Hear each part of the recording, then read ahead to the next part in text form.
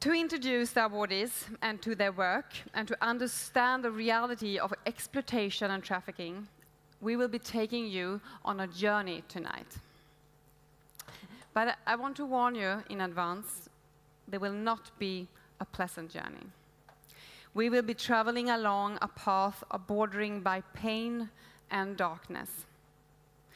But of course, throughout this journey, our awardees will serve as beacons of light to show us that there are ways to help these children, and there are ways to break the vicious circles of exploitation. On the map behind me, you can see the most common migrant routes.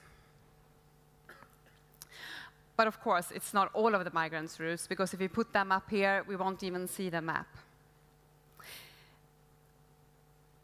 For many children on the run, the countries on the map here is where the journey starts.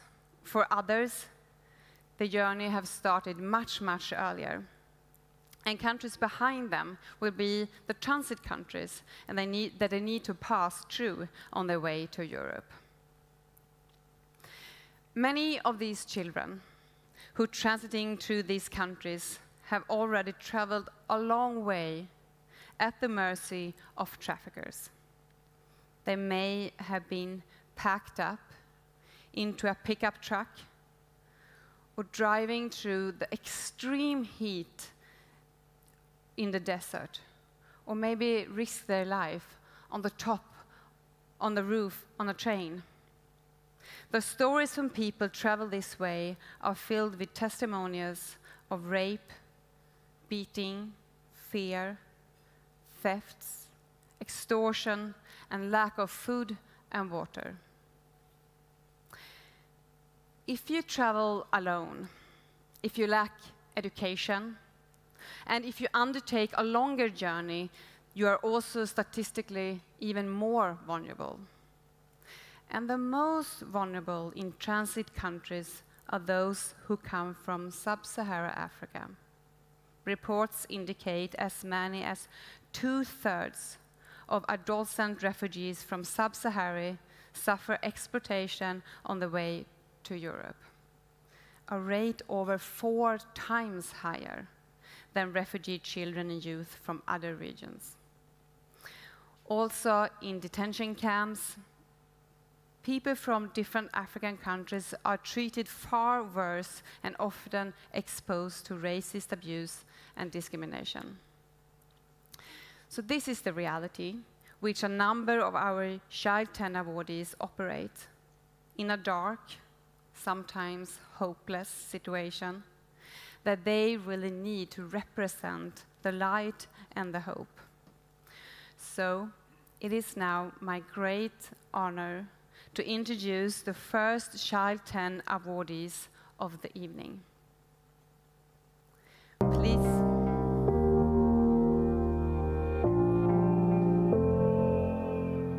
Thousands of children live in dangerous situations in countries where they have sought protection desperately in need of finding a safe place. Since 2005, RefugePoint has directly assisted more than 50,000 refugees to access resettlement programs and completed referrals for almost 2,000 children at risk. Martin Anderson has dedicated his career to improving the lives of refugees. As Director of International Programs at RefugePoint, Martin and his organization working closely with UNHCR and others, have developed child protection and resettlement programs in many countries across Africa and the Middle East. These programs seek to ensure that refugee children have access to the support programs and lasting solutions they need. Please welcome the Director of International Programs at RefugePoint, Martin Anderson.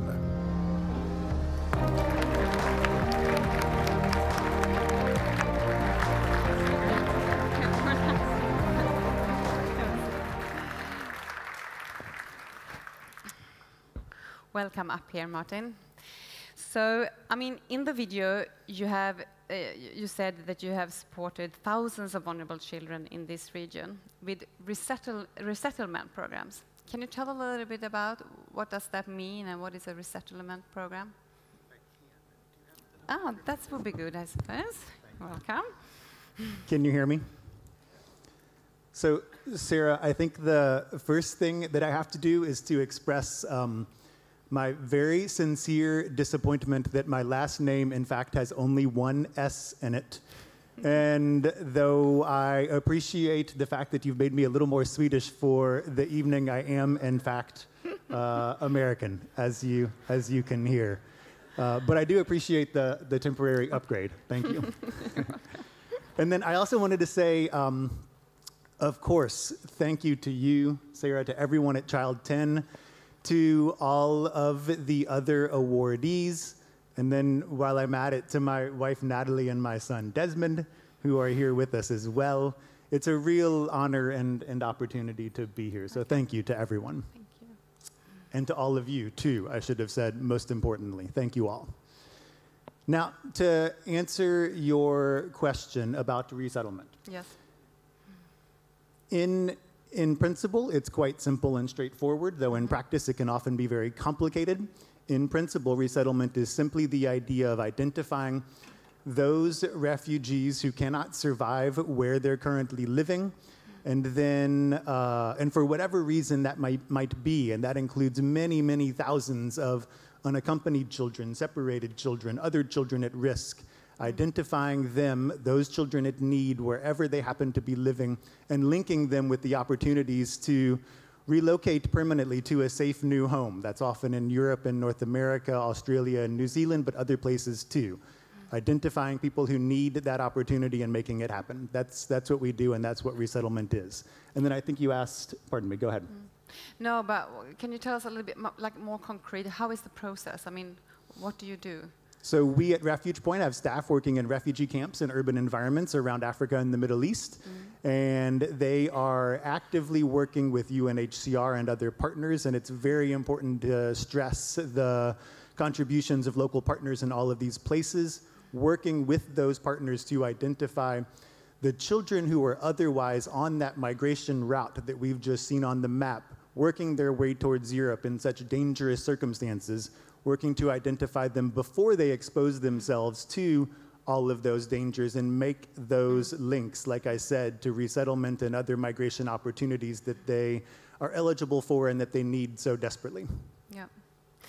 So, I mean, from, from your point of view, I mean, we are talking a lot, and we have been talking a lot about that during these days. I mean, since like 2016, the media attention around this whole uh, problem is much, much lower. Um, and what, I mean, what would you say about the situation right now when it comes to trafficking? How has it changed the last, just the last few years? Yeah, I feel like I need to start by admitting that I am, I am absolutely not an expert on global trafficking or anti trafficking. And so let me focus here, please, on one aspect of this that um, I've experienced in my own work and that therefore I know comfortably. We've been working with UNHCR and other partners over the past couple of years to identify refugee children in detention in Libya mm-hmm. and to evacuate them from Libya to other countries in Africa where they can then live safely while their resettlement uh, applications are processed for, for resettlement to a safe new home. It is a critical program. It is very literally a life saving program for many uh, hundreds and now thousands of children. However, what we've recently seen is that some children, a small number, but some children are now starting to actively seek detention in Libya in order to mm. access the resettlement opportunity on the other side of detention in Libya. And I, I mention that not in any way to undermine your faith in that program. Like I said, it is a critical program, it is a life saving program. Mm. I mentioned that simply to stress that it is it's complicated and our interventions are complicated and we have to be careful about how we intervene and the unintended consequences of our interventions. Mm. And so at RefugePoint, we're working not just on resettlement, but also on self reliance opportunities for refugees in the countries where they currently are. Mm. so that hopefully they don't, they don't feel so compelled to undertake those desperate journeys across the Sahara to the Mediterranean and onwards towards, towards Europe. I think when you hear, I mean, when we hear about the situation and all the stories that, I mean, will, will be told and has been told during this, this evening, um, you feel so, I mean, you really want to help. What, what can we do? I mean, people are here from corporates, from authorities, from organizations and, and human rights fighters. I mean, mixed group of people. What kind of advice? I mean, yeah. Well, I think first and foremost, it's quite obvious that everyone here has taken uh, a big and important, at least first step by being here tonight, by yeah. supporting Child 10 mm. and the, the wonderful work that you do. Um, I think it would be remiss of me, or at least a missed opportunity, not to highlight the fact that we have 10 awardee organizations here, all of which would appreciate whatever support you're able to offer. But then I think, too, um, you know, at this moment in time, like you and Jacob described earlier, it's important to stress the principle behind the expression of thinking globally but acting locally. So much of uh, the work that we all do on the ground uh, all over the world, frankly, mm. is very heavily influenced by domestic politics in Europe and in each individual European country. And so anything that you can do to influence your local politics, even right here in Malmö, even right here in mm. Sweden, uh, that has real impact, real consequences, and it does help us uh, when you can make the case and make the point that we do need to protect these, these children at risk. Hmm. Thank you very much.